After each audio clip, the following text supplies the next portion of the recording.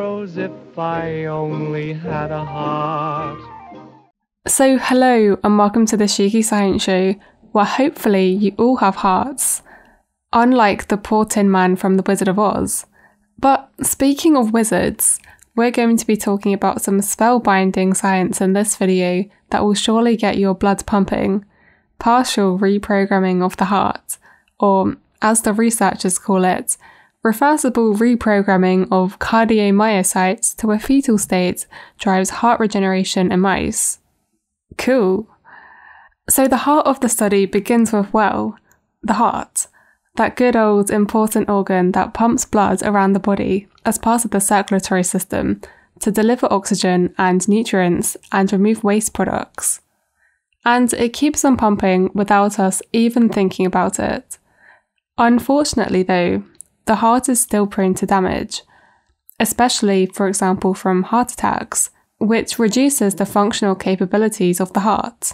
Not so good. But do we need to worry? Can the damage be fixed? Well, to repair damage in the body, we have stem cells. Stem cells are cells that look like stems. I'm joking. Stem cells are cells that have the potential to both divide continuously but can also differentiate into specialized cells. A specialized cell in this case being a heart cell or cardiomyocyte, the more fancy name. For example, you can find stem cells in the intestine to replace cells lost in your gastrointestinal tract, and skin stem cells that are constantly replacing skin cells lost at the surface.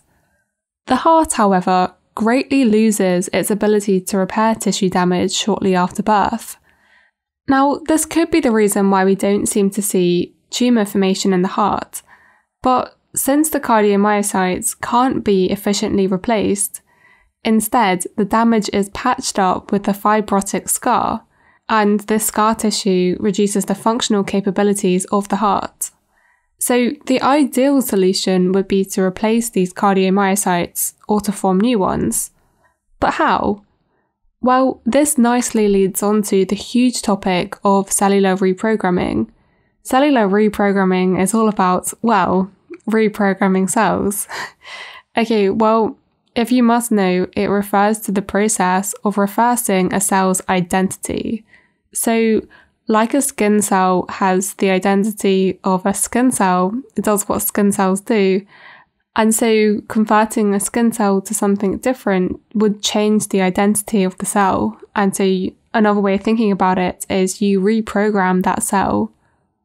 And what has been shown now in numerous studies is that the identity of a cell can actually be erased. For example, the Nobel Prize winning work by Shinya Yamanaka showed that fibroblast cells could be reprogrammed to become pluripotent stem cells so going from a specialized cell to a stem cell. And this happened when the cells were given four factors OCT4, SOX2, c-Myc, and KLF4. These are more commonly referred to as the Yamanaka factors, or OSKM, as I may refer to from now on. Another phrase I will probably use in this video is de-differentiate, the opposite of differentiation when you go from a stem cell to a specialized cell type. So, de-differentiation is the reverse of this process.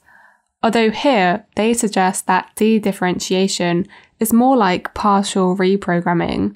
The cardiomyocytes can acquire the ability to replicate like a stem cell and like cardiomyocytes in fetal hearts, but they haven't completely lost all of their differentiated features as cardiac cells possess special features and have a certain structure that enable them to perform as cardiac cells and get your heart contracting.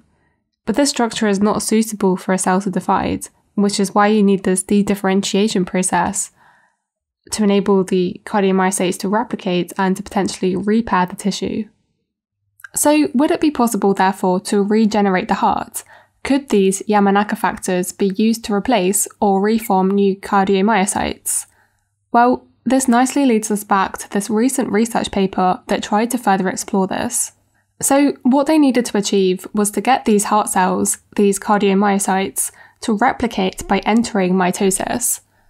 Due to much published data so far on the Yamanaka factors, this seemed like a logical approach to follow, though they were also interested in testing whether reprogramming would work without c-Myc, since this factor is a cancer oncogene.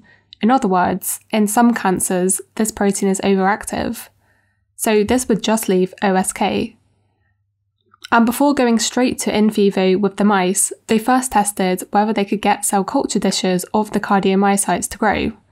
However, neither Myc alone nor OSK was able to coerce these cardiomyocytes to replicate. So they had to stick with OSKM. But there are other tricks that they can use to mitigate against the potential tumorigenic effect of c-Myc.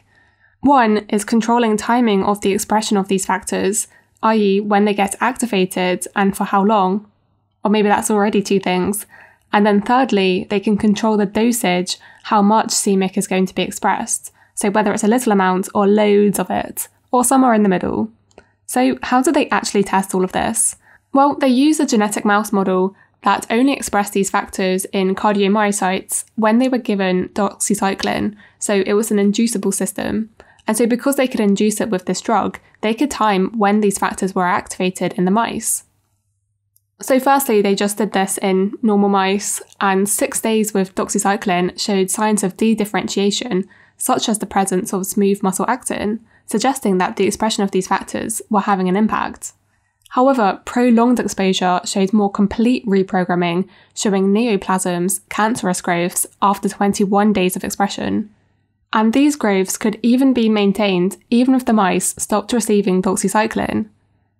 They also tested prolonged expression but with a lower amount being expressed, so with a weaker continuous expression. However, they still saw neoplasms by seven weeks.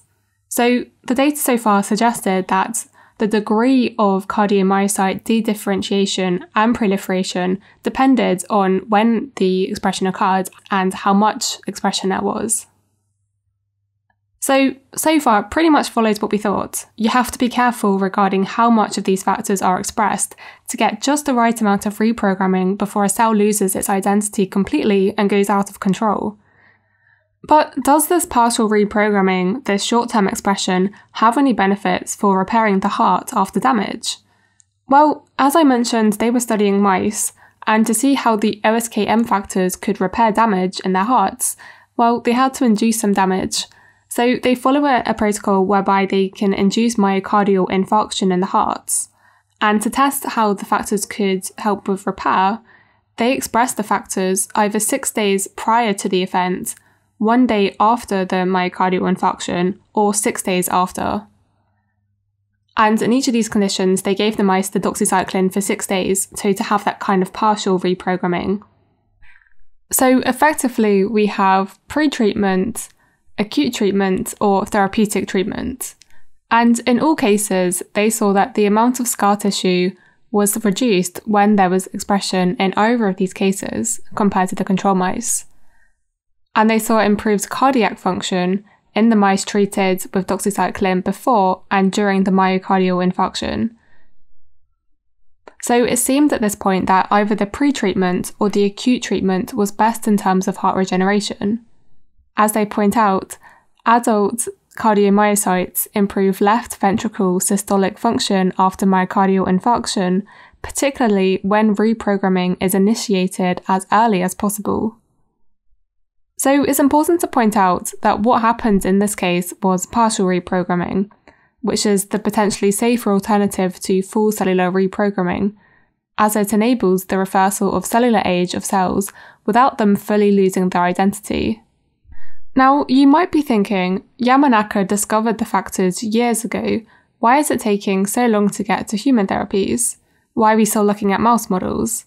Well, numerous reasons, but three main reasons safety, efficiency, and effectiveness. As we've just seen in this research paper, it was only the short term application of the factors, a partial reprogramming approach, that was most effective and appeared the safest for the mice that is, no cancerous growths. As you can see nicely summarized in this figure, continuous expression of the Yamanaka factors caused complete dedifferentiation and the development of cancerous growths. And prolonged expression caused irreversible dedifferentiation such that the cell's identity was erased and they couldn't effectively mature into adult cardiomyocytes that were needed for the damage repair. It was only the short term treatment that caused the reversible dedifferentiation that enabled the cells to partially reprogram and enable the adult cardiomyocytes to re enter the cell cycle and regenerate the cardiac tissue. Now, many challenges lie ahead. This was done in mice, how long exposure would be safest and most effective for humans? Is there a way that this can be done without c-Myc, the factor that is commonly overactive in cancer? What would be the best delivery of these factors into human patients? Obviously, if both targeting and tight dosage needs to be carefully assessed, this may pose many challenges for human translation as identification of molecular thresholds that promote dedifferentiation but avoid a point of no return will be critical to engineering a safe therapy. But what is most exciting is that there is evidently regenerative potential. And lastly, it raises the question of whether partial reprogramming could cause dedifferentiation of other postmitotic cells, such as maybe neurons.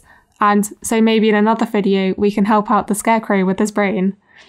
Anyway, um, hope you've enjoyed this video. Leave a comment, always keen to hear your thoughts, and if I like it, I may even give it a heart. Anyway, that's all for this video. Thank you to my Patreon supporters, and thank you for listening.